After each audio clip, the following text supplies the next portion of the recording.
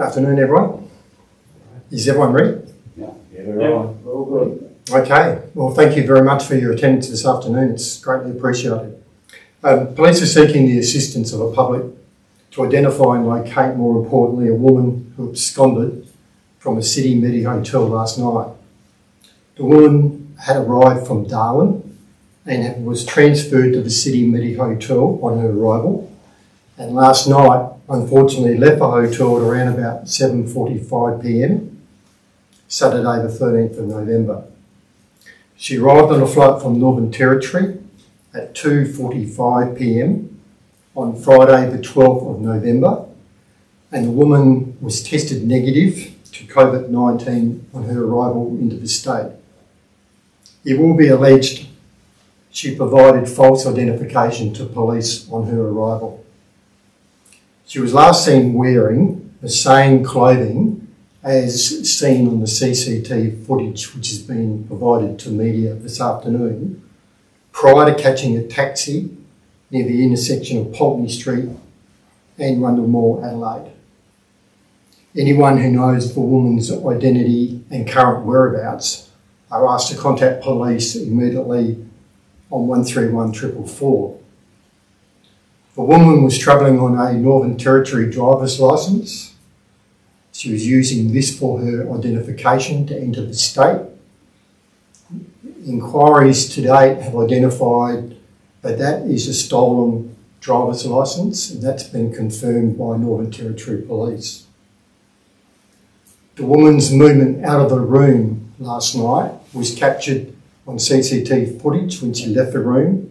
She immediately went to the fire escape, walked down the stairs of a fire escape and exited on the ground floor. On her exit of her room, CCTV footage was um, captured that image and the alert to security and other people in the hotel was made. The security guard on the ground floor at the exit of the fire escape observed the woman coming out of the ground floor door and leave the building. That person, the security officer, was unable to stop her. She was last seen heading towards where we believe and now have confirmed this morning she caught a taxi from the location of the taxi stand, Pulteney Street and Rundle Mall. I'm happy to answer any questions in regards to the abscondee, first of all. Craig, was it the Pullman Hotel that this woman was staying in? And it's, yes, it was. Yes. Did the fire alarm sound when she went down the fire escape? Um, I- that normally happen, or I can't tell you if a fire escape is alarmed. The Yeah. the, um, the um, alarm systems on doors in some of the doorways in some of the many hotels activate. There's a reed switch. Not sure if this particular room had a reed switch, but the movement from her doorway into the passageway was picked up on CCTV. So we're all aware the moment she left the room. is there a security guard between where the woman left her room and the fire escape? Is there someone on that level?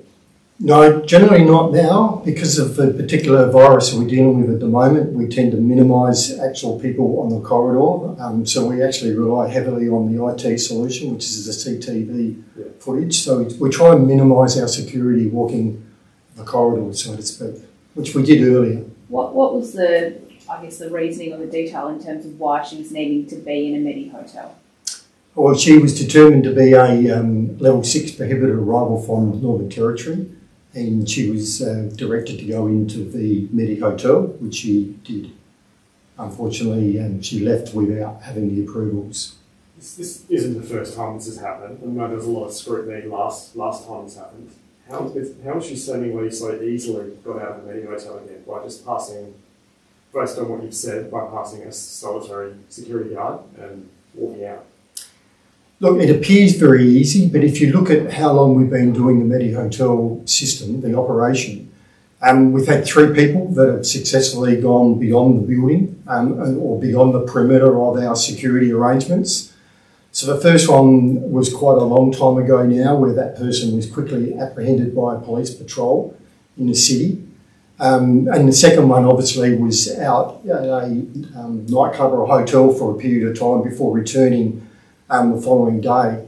Um, so although this is not ideal and certainly on the face of it um, would appear that they just simply walk out, um, we need to remember that it's not a prison. This is um, a quarantine supervised facility. It's a hotel complex. I think it's well known. It's not the ideal scenario, but um, it certainly has served us well.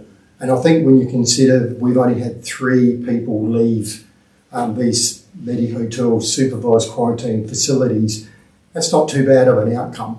Although we're not happy about that, um, the reality is some people go out of their way to do the wrong thing um, and leave. So we'll be doing our best to locate that person. We're asking for public assistance.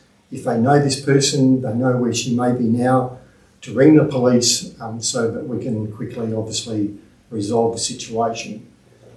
Appreciating that only three people have made it out, um, and that may be a good record, but what, what will happen now? Because, I mean, people might be listening to this, they might have businesses, and we know that this, this woman was, she's not in prison, but if she did have COVID, we know the, the consequences that can come from that in terms of shutdowns and all that sort of stuff.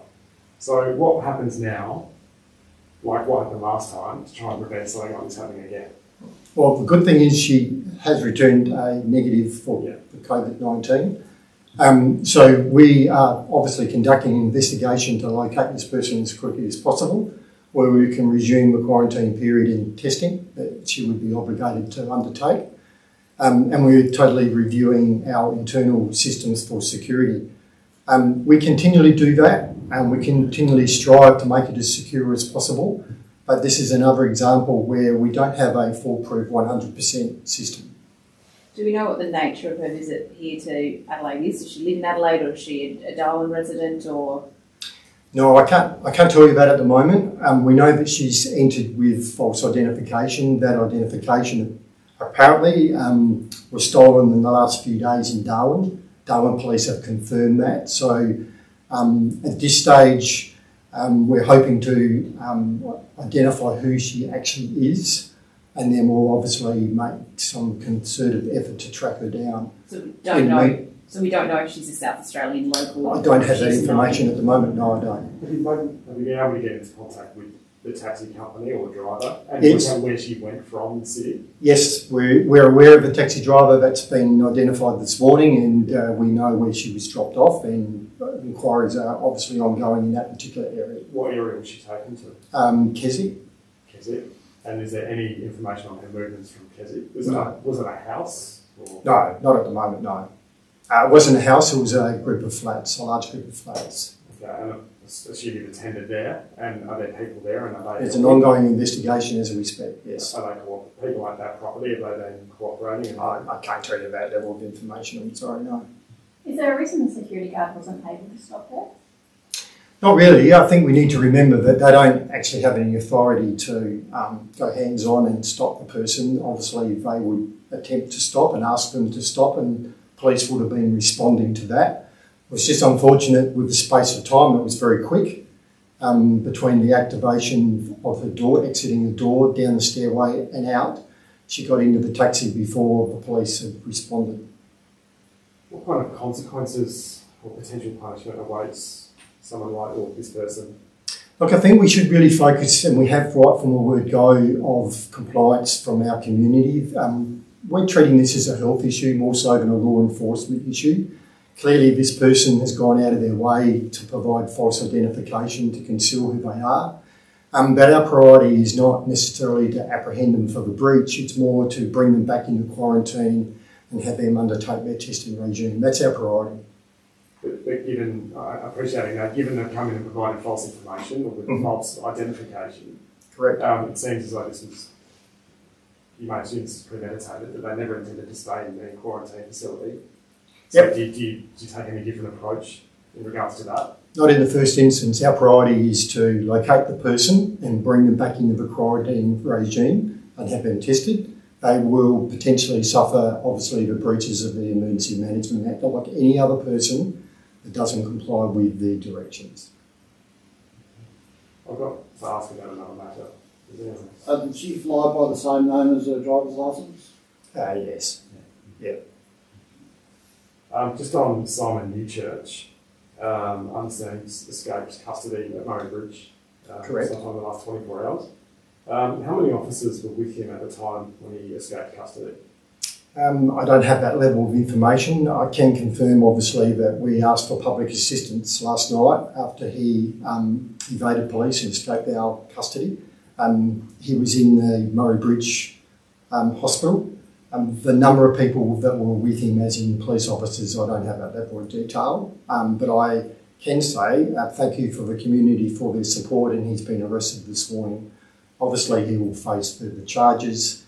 And my understanding, just prior to walking in here, a second person has been arrested for aiding and assisting um, with him leaving the hospital. Circumstances I can't elaborate on because I don't know them. Okay, do you know anything about that person, like No. age, that sort of stuff? No, Um, sorry. What kind of resources were used to try and find him? Was, was PolAir used in the dog squad, that sort of things? I'd imagine so, but that level of detail, I'm sure our media section can provide you with further information. But um, if someone escapes our custody, um, all our resources would have been dedicated to Murray Bridge area in search of him last night. Was Simon known to police before all this, before whatever he was in custody for? Uh, I couldn't tell you that, I'm sorry. And is there a, a, an internal investigation within police, I guess, underway um, as to how he escaped? We had two two escapees, I think, a couple of months ago, within a couple of weeks of each other. Yeah. So, yeah, is there some sort of investigation underway? So the uh, local management in Murray Bridge, and no doubt will be briefing up to the executive, and those decisions will be made um, by tomorrow morning, I'd imagine. I can't give you that information at the moment, I'm not aware of it.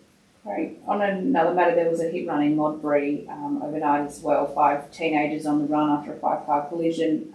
What do you make of you know young people in this kind of behaviour? Um, I'm not briefed on that particular matter, but I know that is obviously a concern if we've got a number of youths in a vehicle um, and hit run. Um, uh, that sort of behaviour is obviously um, a safety issue for our community, and obviously we don't like to see those happening. But I don't know any of the information about that to, to assist you with that. Sorry. Just going back to Simon New Church for a second, was he um, only arrested yesterday before he escaped from the hospital, or was he in custody elsewhere before and taken to the hospital and escaped? I don't have that information. I can only tell you that he was in police custody at the hospital when he escaped.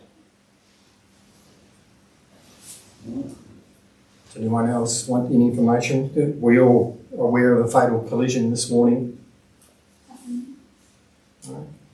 I can give you some information in regards to that if you like. Sure. Um, uh, a man has died following a fatal crash in the southeast in the early hours of this morning. Uh, just before 3 a.m. today, uh, police were called to the Riddoch Highway at Tarpeena following reports of a car hitting a tree. The sole occupant of a Ford sedan, a 31 year old man from Mount Gambier, died at the scene. A major crash currently on the Riddoch Highway, which is blocked whilst they undertake their investigation. Riddoch Highway south of Tarpeena is closed in both directions um, while police are investigating the matter. The man's death is the 87th, which is 10 higher than the same time last year. Uh, I don't have any further information, unfortunately, on that one for you. All good?